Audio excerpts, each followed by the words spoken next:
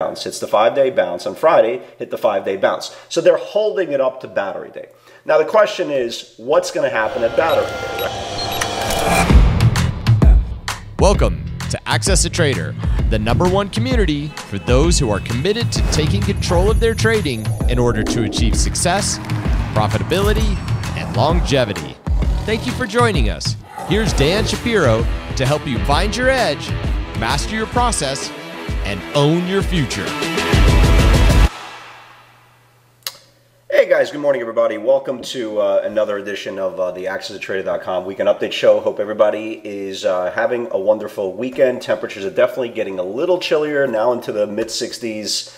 Uh, and the most ironic part of it, like like the way I'm complaining about it now, give it two months we, we have a high of about 35 degrees. So hopefully everybody had a wonderful rest this weekend. Again, uh, crazy market if you look at the scoreboard, you're not going to really um, you're not going to really get a good sense of how erratic the market was. Uh, we, you know, we went through. If you watch this kind of uh, update for the last week or so, you saw you know very very specific levels. Uh, why the market did what it did, uh, held the 50-day moving average, traded into supply, uh, rejected of supply. We talked about levels uh, to the downside. We talk about macro levels, uh, very, very specific names we talked about as well, uh, with the Apples of the world and the Amazons of the world. Um, and we'll get to that in a second. But I, I think, I, I, think most traders um, really found a very, very tough time this week on a number of fronts. Number one, uh, when you have a market going from demand, right? So here's demand, we, we covered demand,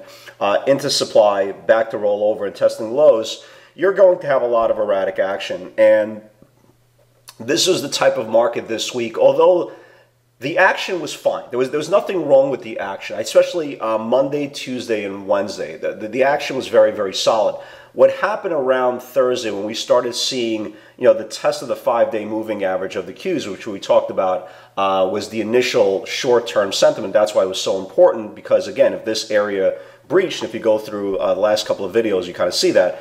Um, then we knew kind of the test as bottom range was going to happen. But the problem was this wasn't like an, a normal week that stocks went in the same direction. Usually, especially in beta names, uh, for all you guys who are joining us for the first time, you know, beta is the most highest aggressive uh, expanded channels uh, in the market. Uh, your Amazons of the world, your Teslas of the world, your Apples and Facebook and so forth and so on, you know, so forth and so on. Um, and they usually trade as a tribe, right? If one goes up, there's pretty much, they're all going to go up. If one goes down, they're all going to go down. Um, and if you look at the scoreboard this week, you're going to see the Nasdaq Composite um, was down a fraction. It, it wasn't down a lot. Uh, the Dow was flat. The S&P was down about seven tenths of a percent. So you're not going to get a sense of the correlated action or not correlated action. But you saw a lot of big disconnect. Uh, Tesla this week, and we talked about in the beginning of the week. Um, I felt they were going to hold the stock up just because, again, battery day uh, is around the corner. Okay, it's a couple of days away. So you knew there was going to be a lot of people anticipating the trade, uh, anticipating good results or good uh, PR from the battery day. So I, there was going to be some sort of hypothetical floor that even the most aggressive bears are not going to start putting in fresh capital ahead of a macro catalyst. So you knew Tesla was going to stay up, and it, and it did, right? Tesla held up uh, pretty much. Uh, Tesla held up pretty much the whole week. Um, but if you started looking at other companies, uh, especially in the tech space, okay, um, it was very, very important to understand that they were trading at a very, very big disconnect. So, for example, Amazon was weak the whole week. Like literally, it was absolutely weak the whole week. Um, and you started seeing names like Zoom holding up very well. You started seeing uh, names like BYND with a couple of you know pretty decent catalysts held up before before Friday's sell-off on a downgrade. So it was very very odd, right? Um, and most important part of what we saw this week was that contraction of channels. And for all you guys, like I'm an equity guy, but for all you guys who are uh, option traders. Okay, if you buy premium, you know if stocks are not going up and stocks are not going down, your premium is going to is going to go away very very quickly. And a lot of traders saw that. And the problem is when you get a market that has um, no definitive bias. You could see the formation setting up and you could see it technically potential testing different levels. But when you don't get a clean break one way or another, you're to you're going to find yourself in a lot of trouble because, again, stocks, there's just not enough aggression for stocks to go up. And obviously, there's not enough fear for the stocks to go down. Again, that's why they were completely disconnected this week. And a lot of traders that I spoke to, especially uh, trading in the option side, unless you were selling the premium, okay, you saw quickly how fast uh, things could go left very, very quickly. And the most important part is when you are a trader or any type of trader, you could be an options trader, you can be uh, an equity trader. Again, it's it's incredibly important to understand that you don't need to trade every day. You know, we try to cover this and try to really. Um, really, really drive point the home very quickly because again, the market is not trading on your time. Okay, uh, you know if you if you are a passive investor or a passive and trader that only has maybe two days a week to trade, the market doesn't care that you're off this week from work that you can trade. If, the markets are contracting, if the channels are uh, getting tighter by the second, you're going to lose money because, again, there is no bias. There is no uh, clear way to the goal line. So it's incredibly important that if you are uh, a trader of any level, okay, whether you're trading five days a week or you're trading um, you know, one day a week, two days a week, it's really incredibly important to understand the market is open. It doesn't care that you want to trade. You'd like to trade, but you don't need to trade. You want to trade, but you don't need to trade. Again, it's not the market's job uh, to put you in a position to succeed. The market's job is literally to take you and separate you from your money. So it's incredibly important to, to you know, put on the big boy, big girl pants and understand that if there is no value, you can't trade. There's nothing you can do in the market to squeeze water out of a rock if the channels are contracting. And unfortunately, because of, again, just on the for, first sight of the indexes, because you had such contracting channels most of the week, right? Whether it's to the upside, uh, we're capped off by technical areas of rejection, which is supply, or to the downside that kept on rolling over. But you saw so much strength in the market that a lot of people just said, ah, I, I get it, I get it, hit supply, but we're not going to go lower. Ultimately, we went lower it was a very, very challenging week for a lot of traders, especially new traders. The, the, the difference between uh, a trader who's been trading for 20 something years or a trader that's been trading for 20 something weeks is you don't know this information yet, right? You, you know, you haven't been exposed because, again, uh, all of social media has taught you for whatever the time that you've been on social media is, there's always an opportunity, right? There's something somewhere that you could take advantage of. And that's true if you trade everything. It's true if you don't have a process. It's true if you don't have a bias. But if you have a very, very specific way of trading, if you have, you, if you found your edge and you're just trying to omit uh, other areas in the markets that are a weakness in your game, you're not going to have that, you know, you're not going to have that reality. So for example, if you have some $2 stock up 200% and you trade Amazon, what is the difference how much that stock is up if that is not your sweet spot and vice versa? So I, I, I found myself uh, very, very patient this week, um, incredibly patient. Uh, my patience was really put to the you know really put to the max. I was like really a statue this week, and the action was there was nothing wrong with the action. But by the time around Thursday rolled around, I was incredibly tired. I, I couldn't, if you guys noticed, I didn't record even the video on Thursday night because um, we had such a long, I just sat there for most of the day and did absolutely nothing because the market gap down. I was looking for a reversal just strictly because 90% of the stocks on a major gap down put in their average to range, and it never hit my areas uh, that I could buy stock. And obviously, there just wasn't enough channels that you can justify a move lower, especially for Thursday.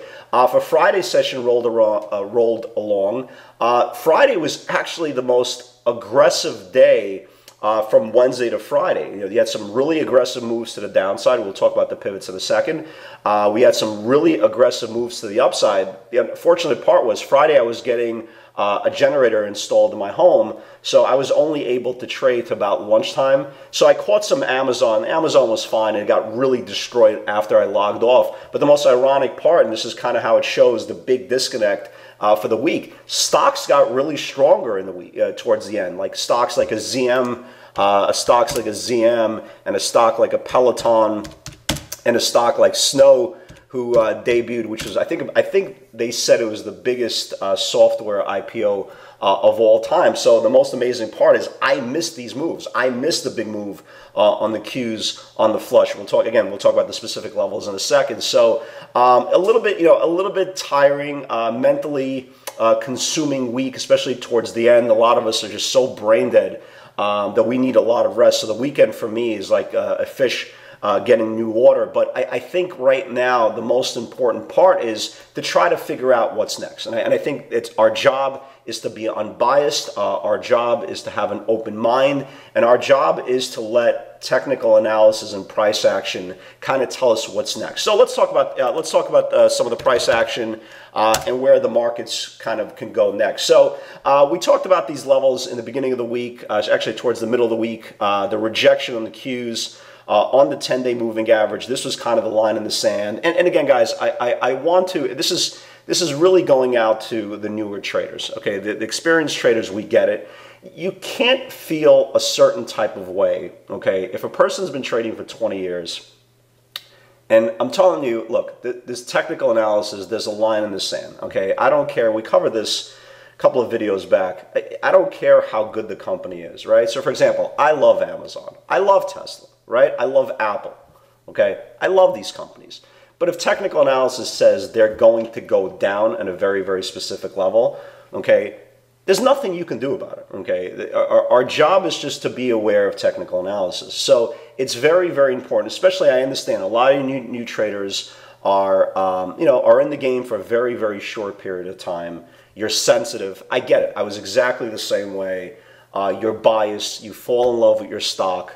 Okay, anybody who says anything bad about your stock, and again, nobody's saying bad words. Okay, this is this is the stock market. The market's going to go up. The market's going to go down. Um, I love Tesla to the long side. I love Tesla to the short side. It doesn't make a difference. Amazon, we know it's the greatest company in the world. We get it. But when there's opportunities on the downside, there's going to be opportunities on the downside. We know that Apple has a quarter of a trillion dollars. Okay uh, in the bank. We get it. We love the products. I have a MacBook. We have iPads. We have the iPhone. We have everything, right? But the moral of the story is the stock market is there to make sure that number one, you are aware of technical prowess. Uh, you're putting yourself in a position that if, if things look murky on the technical side, you could put yourself in a position ahead of time. Again, you don't need to watch your uh, position you know, bleed into eternity. And again, there's no there's no reason to believe that at any given point that you're owning a stock that it has to go back up, right? Think about it. All you have to do is go back to the internet craze. Uh, all you have to go back is to uh, 2007, when the start of the mortgage mess. Anybody who long stock in the beginning of 2007 was really, really underwater. Did it make a difference how good the company was? Does it make a difference what they do? So for new for new traders, try again. I understand social media is nuts and people fight on social media. You're an idiot. No man, you're an idiot. Okay, I'm the king of the idiots. There's nothing left to say. There's there's nothing more than the highest point of being the highest idiot. So I'm the highest idiot, but as the king of the idiots, and the chief of the tribe, I'm going to tell you there's no reason to fight with anybody on this on, on, on the internet. If you long Apple and somebody says Apple's going down, okay, it's words. Words hurt, you know. Okay, got to be a little bit harder skin. Can't be sensitive. Okay, that's the number one rule of any type of investing in the stock market, whether you're an investor, a trader, okay, it's words, okay, it's opinions. Everybody has an opinion. So it's very, very important, again, use technical analysis to form your own opinion of what's going to happen next. So, for example, okay, Tesla battery day, right? Tesla battery day is coming up. We're a couple of days away. Uh, big, big run on Tesla, as we all know, huge run. Okay, stock split. It's a cult stock. I love Tesla. Love Tesla. Let me repeat this again. Love Tesla. Okay? Love the car. Love the stock. But I also love st- the stock when it goes lower because it's very, very definitive opportunities when it happens. Right now, we're at the level, and you can see it how important, again, we talk about the five day moving average, how every single time it hits the five day moving average, it bounce, right? So, for example, hits the five day bounce, hits the five day bounce, hits the five day bounce. On Friday, hit the five day bounce. So, they're holding it up to battery day. Now, the question is, what's going to happen at Battery Day, right? Everybody knows Battery Day is coming. Everybody knows they're going to talk about Battery Day. So, my question again to the Perma Bulls, and again, I'm on your side, okay? Don't get nervous. But what happens, I know it's crazy, But what happens if they come out with battery day and it's the sell on the news? I know it sounds crazy, but what happens? You just have to be prepared for that, okay? If it was just as simple as buying stocks in an anticipated catalyst event, then everybody would just be long, right? Everybody. Like, for example, Apple had their Apple event, right? They had their Apple event. And we talked about Apple to the downside levels. We talked about the 110 area, uh, 110 area, 50 day moving average. We talked about all these different things. We saw what happens, in, you know, again, they ran the stock up into battery day and then they sold it. So my point is again, don't fall in love with your piece of paper, okay? Don't fall in love with your uh, ability to, you know, completely close your eyes and hope for the best. Stock market, again, we don't know what's going to happen in the battery event. It sounds cool, right? A thousand hour battery, whatever it is, whatever they announce, it sounds cool, but at the end of the day, does it really make a difference? And if it, again, if it was so easy and it was so, you know, such a slam dunk that they were going to explode this thing into battery day, then everybody belonged. There's, there's a reason why people are making bets on the other side of the market. Again, we don't know. It's like going into earnings, right? You never know what's going to happen in earnings. You know, a company's coming out with earnings, they're supposed to be good, but you know what? There's sometimes they sell the stock off no matter how good news. So again, if you are a perma bull, especially in Tesla, just keep in mind, again, there's always a possibility uh, for a sell the news type of scenario. Again, I would love to see Tesla back to 500. Okay, I would love it. You know, again, it's a feel good story, it's a growth story. But again, I'm not naive. If they come out with some news that the market feels like, okay, it's cool, but it's not cool enough, there's a very, very strong possibility they could sell it off. So just be aware of that. Again, stocks go up, stocks go down. Be a, a responsible trader. If you don't want to be a responsible adult, be a responsible trader you know, trade with eyes wide open instead of eyes wide shut, and just understand there is a possibility. And crazy it sounds, but there is a possibility that stocks will not go in your direction. So let's talk about the technical view. I know I got a little sidetracked. So here's kind of where we are. Uh, here's kind of where we are on the Qs. Um, so we got rejected off the 10. We talked about the, on Wednesday's video, I believe, the importance of the five-day moving average. That confirmed. Uh, Friday, as you can see here, confirmed the whole macro channel. And again, as we talk about in part of the PS60 theory, stocks just don't stop. They stop at areas. Uh, they stop at areas uh, from supply to supply and demand to demand. So the fact that we stopped uh, at the 62 level, that's exactly what we were talking about throughout the week. Again, I'll show you on, on the pivot feed in a second. The problem for this week for the bulls, okay, you see all the supply here, right? All the supply every single time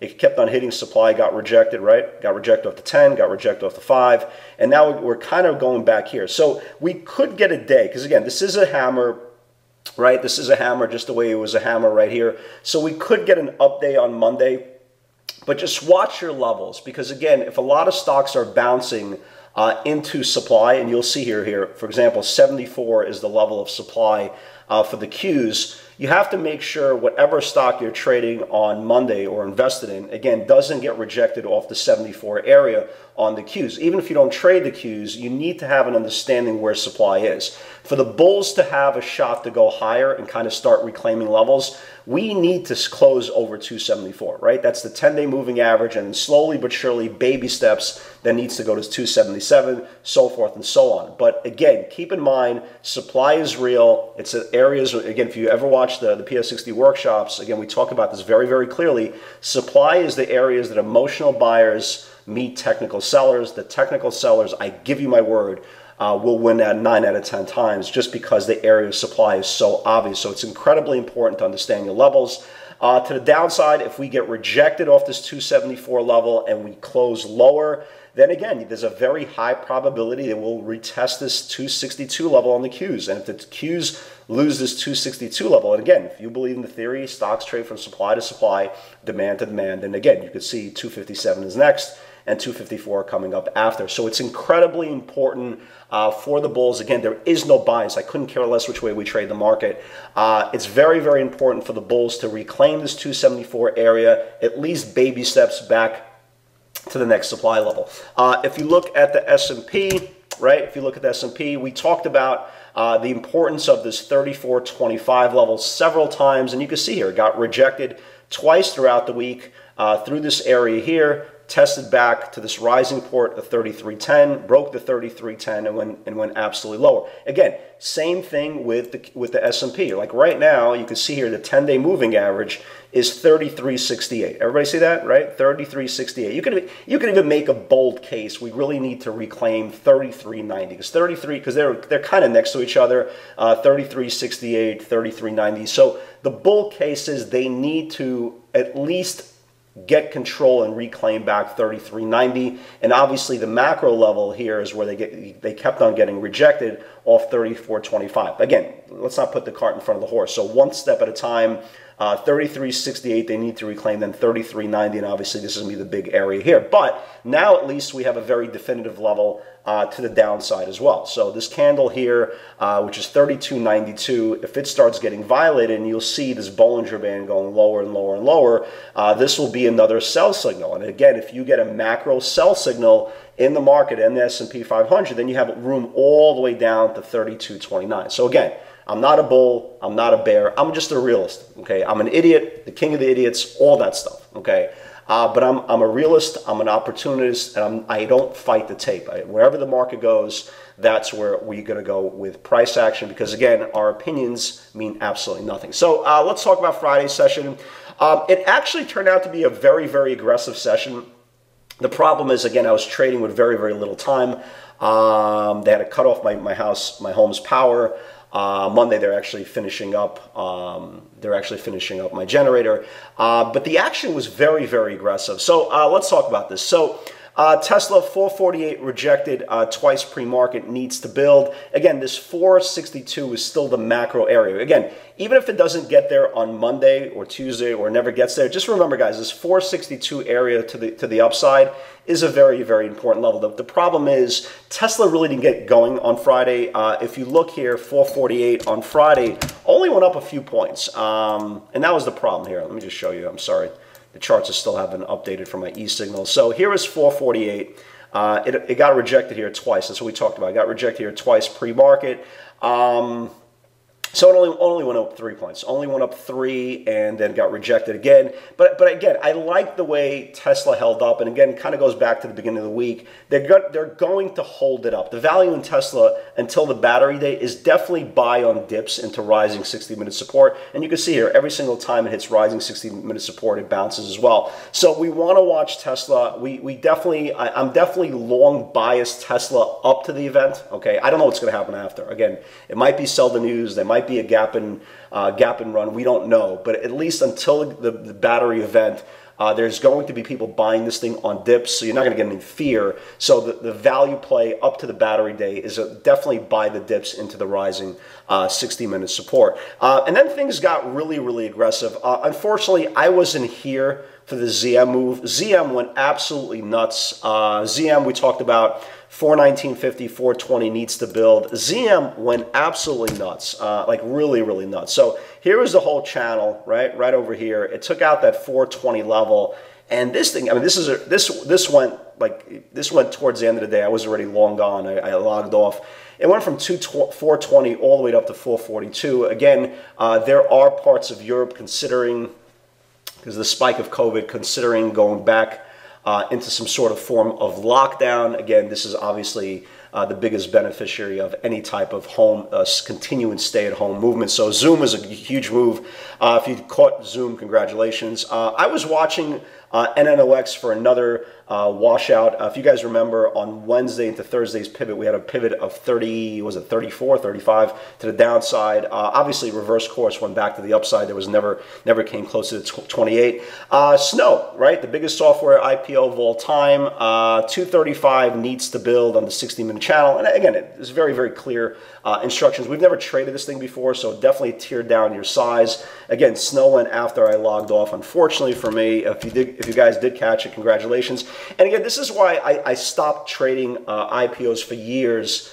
The first day, right? The first day it came public, uh, big premium, went to 300, went reverse.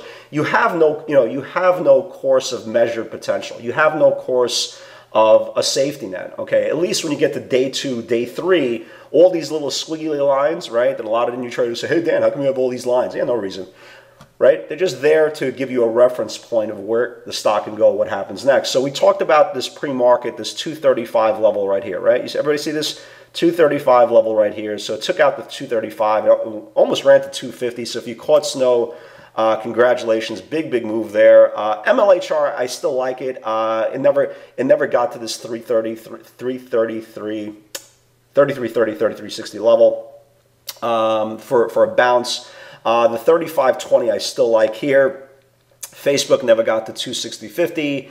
NKLA never got to uh, 35. Uh, this is my only, literally my only trade of the day, and then I logged off. Uh, Amazon 309, if it builds below, can flush.